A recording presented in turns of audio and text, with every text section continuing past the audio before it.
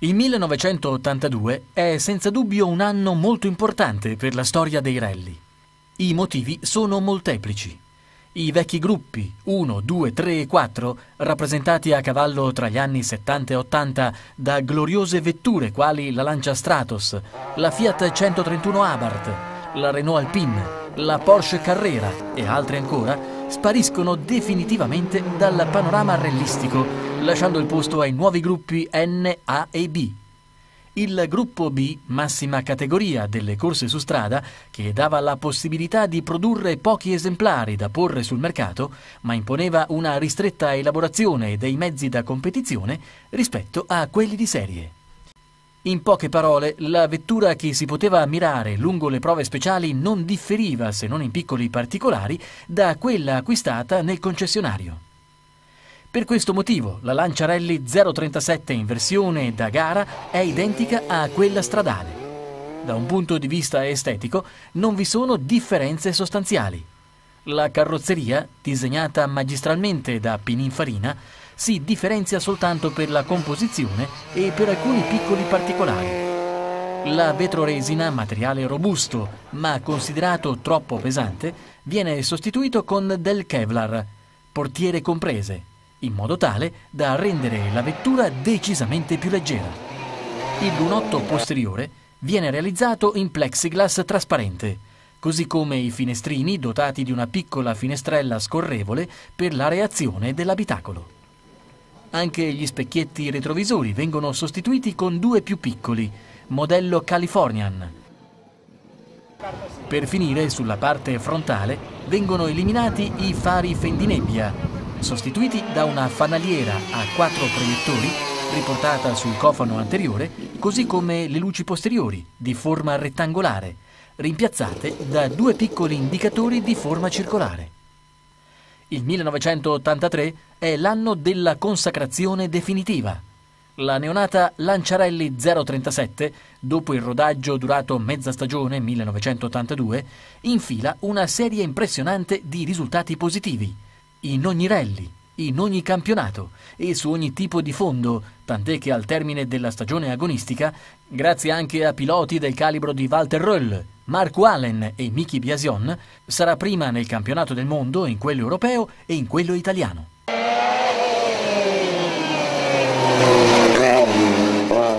Nata per vincere. Bastano davvero poche parole per delineare il profilo della Lancia Rally 037. Motore posteriore centrale, sovralimentazione mediante compressore volumetrico e oltre 300 cavalli di potenza sono gli ingredienti principali che compongono questa fantastica vettura, unica nel suo genere e dalla tecnica molto raffinata. Osservandola nei dettagli, anche nei più piccoli, possiamo stabilire in che modo riesca ad interpretare il regolamento del gruppo B. Entrando nell'abitacolo, decisamente stretto, Subito si ha la sensazione di trovarsi più che in un'auto da rally in una vettura da pista. La visibilità anteriore, come sulla vettura stradale, è buona, mentre quella posteriore è praticamente inesistente. I sedili modello Sparco sono molto avvolgenti e permettono al pilota di restare immobile quando la vettura è sottoposta a forti accelerazioni laterali. Il volante, diversamente dalla versione stradale, è a calice. Questo per consentire una guida ravvicinata tipica dei piloti da rally. La strumentazione è davvero essenziale. Al centro del cruscotto si trova il contagiri e una serie di spie per indicare eventuali anomalie agli impianti. Sulla parte centrale, invece, leggermente in basso, vi sono gli indicatori della carica della batteria e del carburante. Una serie di fusibili, per finire, trova posto sulla parte superiore centrale del cruscotto, oltre ad alcuni pulsanti per la ventola del radiatore, l'impianto di estinzione, i fari, l'avviamento e l'iniezione ad acqua. La Lancia 037 pesa circa 960 kg contro i 1170 della sorella stradale. Chiaramente per essere competitivi in rally non è sufficiente una macchina leggera, ma occorre avere tutti quegli accorgimenti all'assetto, al motore e al telaio modificati appositamente per un utilizzo più esasperato. I cerchioni di serie, ad esempio, vengono sostituiti con quattro in magnesio di diverso disegno e misura. I pneumatici 210-595-15 sull'anteriore e 265-40-16 sul posteriore assicurano quindi un grip maggiore considerato che le strade dei rally spesso sono viscide ed insidiose. L'assetto punto di forza della 037 viene rivisto sia nella parte anteriore che in quella posteriore. Anteriormente troviamo due ammortizzatori a gas tipo Bilstein, non regolabili, montati su snodi metallici Uniball e dotati di molle elicoidali a flessibilità variabile, mentre posteriormente un analogo schema ma con due ammortizzatori per ruota paralleli tra loro e con lo stelo rovesciato. Una soluzione tecnica, rivelatasi poi vincente nei rally, è quella di avere la possibilità di diversi punti di alloggiamento dei bracci oscillanti. Questa finezza permette una serie variabile di regolazioni delle geometrie delle ruote, consentendo alla vettura una variazione di assetto in poco tempo. Anche l'impianto frenante viene radicalmente modificato. I dischi autoventilanti di serie vengono sostituiti con quattro analoghi, ma di tipo scomponibile, con pinze Brembo a quattro pompanti sull'anteriore e due sul posteriore. Il circuito del freno a mano, inoltre, viene sdoppiato e dotato di doppia pompa separata. Questo per avere la possibilità di far girare la macchina nei tornanti stretti. Per ottimizzare al meglio la frenata, infine, un particolare sistema di servofreno a due canali viene utilizzato in modo tale da garantire frenate potenti e precise, anche in situazione di precaria aderenza. Il motore dotato di compressore volumetrico è l'anima e il cuore della Lancia 037. All'inizio della stagione 1983, dopo un anno di rodaggio, nuove sostanziali modifiche sono state fatte al gruppo propulsore e precisamente allo schema di aspirazione e di alimentazione. La cilindrata di 1995 cc rimane invariata ma la valvola di regolazione comandata dall'acceleratore e il collettore di aspirazione vengono riesaminati. Ora la Lancia 037 arriva ad avere 300-310 cavalli a 8000 giri al minuto, con una coppia massima di 30,5 kgm a 5000 giri al minuto. L'ultima evoluzione della 037 raggiunse livelli di potenza molto elevati alcuni esemplari toccarono i 350 cavalli con una coppia massima di 33 kgm. La Lancia 037, così configurata, è in grado di spingersi fino ad oltre i 175 km/h con un'accelerazione bruciante che la porta a 100 km/h in poco meno di 6 secondi. Questo grazie anche al cambio a 5 rapporti dotato di innesti frontali ravvicinati, con quello finale sostituibile per ottenere velocità massime diverse in funzione del tipo di percorso. Il differenziale autobloccante, infine, per utilizzo agonistico, era trato diversamente rispetto a quello di serie e portato ad un incremento della soglia di lavoro percentuale pari al 40-70%. Al termine della stagione 1985, la 037 termina ufficialmente la carriera agonistica e con essa il suo sviluppo.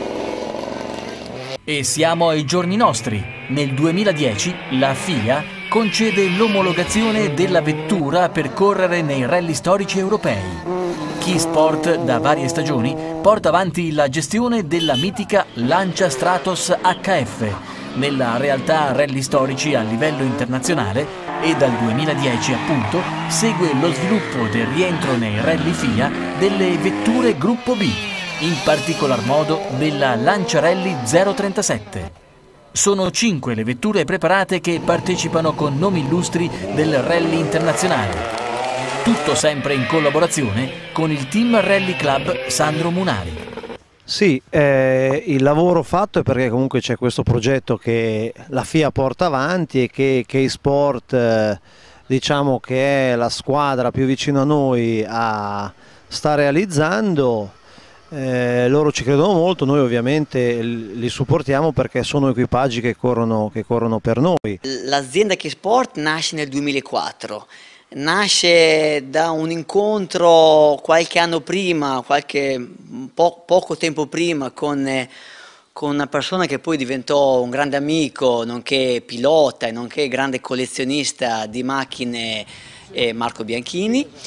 Nasce, nasce questa amicizia, questo, questo rapporto così, di, di comune passione e da lì nasce comunque la necessità di creare un'aziendina per poi soddisfare chiamiamo così, soddisfare delle esigenze agonistiche e delle esigenze di, di perfezionamento di, di, di prodotto e, e, e, parallelamente nasce la volontà e serve a soddisfare le esigenze di far correre la, zero, la lancia Stratos. Lui amante di Lancia Stratos, noi amanti del, del mondo lancia e quindi da lì nasce nel febbraio 2004 la K-Sport. Eh, molto velocemente, Lancia Stratos, eh, campionato europeo 2005-2006 eccetera eccetera, quindi eh, poi chiaramente da due persone sono diventate tre, poi quattro, poi cinque persone, qual è adesso l'organico dell'aziendina dell K-Sport dove, dove così, continuiamo a portare avanti macchine di clienti, macchine di proprietà, corsi di clienti e corsi di proprietà. Ci divertiamo cercando di, di, di portare avanti il marchio Lancia e, e le macchine italiane con il massimo della professionalità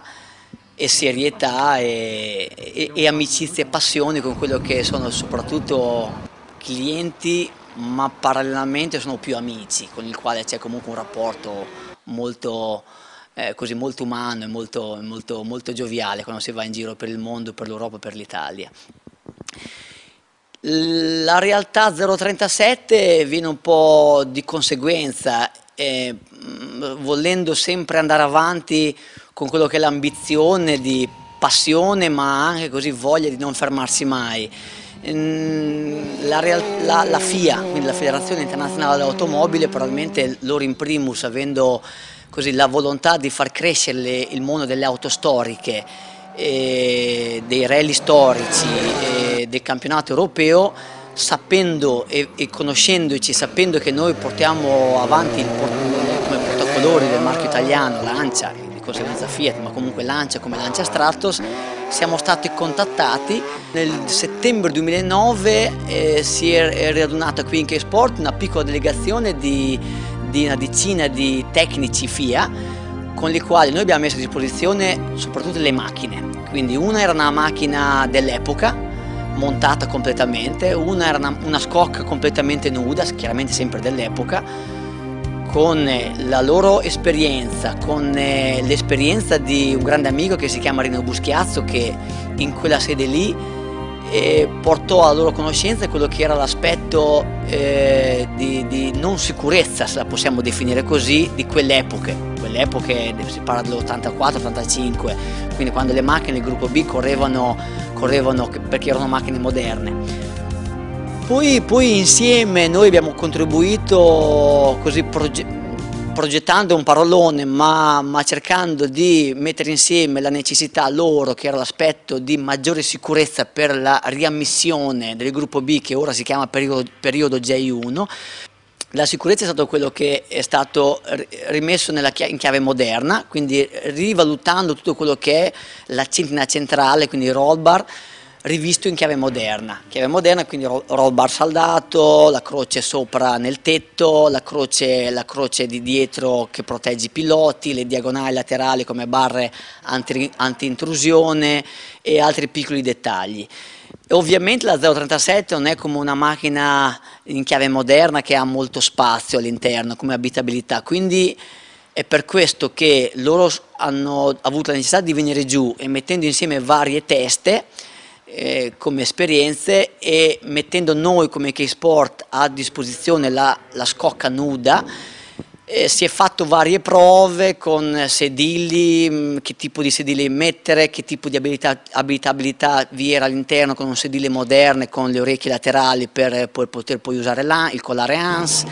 e eh, queste piccole evoluzioni hanno poi portato al progetto finale, il progetto finale è stato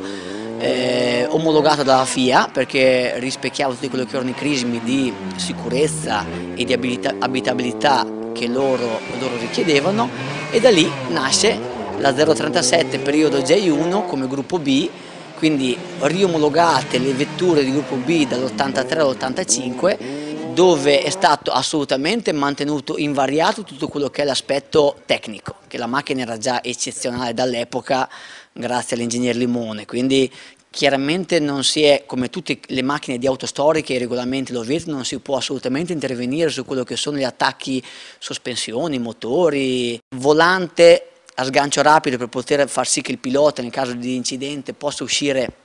in maniera, in maniera veloce e impianto di distinzione anche questo in chiave moderna quindi con la parte fissa e la parte invece brandeggiabile che a tutt'oggi nelle gare nazionali di campione italiano non è, non è necessario basta un, un impianto di distinzione così, eh, omologato ma brandeggiabile rimane invariato se non quello che il regolamento permette di fare, quindi delle piccole migliorie ma non assolutamente eh, migliorie che mm, toccano aspetti chiamiamo elettronici o aspetti di, di, di, di chiave diciamo, strutturale moderna perché uno può migliorare per quello che è la tecnologia di materiali no, sotto l'aspetto del motore soprattutto i pistoni o altre cose. Questo è normale ma dal punto di vista strutturale assolutamente come regolamento è vietato e quindi non si può toccare niente, si può restaurare, si può eh, eh, così, revisionare ma non si può assolutamente variare quello che sono gli aspetti e motore, e cambio e, e elettronico, elettrico perché a quell'epoca l'elettronica non esisteva ancora ma soprattutto quello che sono attacchi sospensioni, attacchi dello chassis, e, e supporti particolari assolutamente sono vietati dal regolamento e quindi non si, può, non si può intervenire su questo aspetto e anche la 037 mantiene quello che è il criterio originale dell'epoca. Noi ci siamo dovuti ricostruire un po', ci stiamo ricostruendo tutto, tutto con le nostre forze, specialmente, adesso cito solo l'aspetto delle, delle resine esterne che chiaramente noi abbiamo rifatto gli stampi di proprietà e quindi su, sulla base di carrozze originali dell'epoca eh, funzionanti e funzionali e quindi siamo in grado di ricostruire e, e di supportare noi stessi o eventuali clienti con eh, materiali uguali all'epoca e eh, perfettamente intercambiabili. Come si diceva prima, eh, settembre 2009 è ripartito il progetto la filosofia e sono state mm, messe in calendario dalla FIA nel 2010 tre eventi, tre eventi che sono stati eh, il Rally del Corallo, che era una gara mista terra-asfalto, e il ehm, rally di Udine, anzi no, il Corrado l'anno scorso fu due tappi terra, il rally di Alpi Orientali a Udine e il rally Costa Brava, le ultime due su asfalto entrambe. Quindi nel 2011 tutte le gare del campionato europeo, le macchine di gruppo B periodo J1, quindi compreso 037 e Audi eccetera, sono state ammesse al, nella sua totalità quindi si è partito quest'anno dalle Sanremo per poi toccare l'Acropoli, per poi sarà Belgio, Ypres, eccetera, eccetera, Ypres in Belgio e altre, Finlandia e altre. Quest'anno è un anno, chiamiamolo di transizione, eh, non da un punto di vista regolamentare quanto solo da un punto di vista puramente di campionato, perché le macchine saranno in, sono e saranno in classifica, ma ai fini del punteggio del campionato, del campionato europeo non, è, non sono inserite,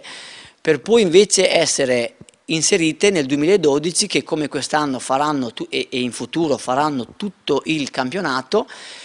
e prenderanno punti, quindi oltre a essere in classifica, quindi a, a, vincere la coppa, diciamo così, saranno anche in classifica per quello che è il criterio del, campionato europeo, per prendere punti per il campionato europeo e, e partecipare all'affermazione, al titolo, eccetera.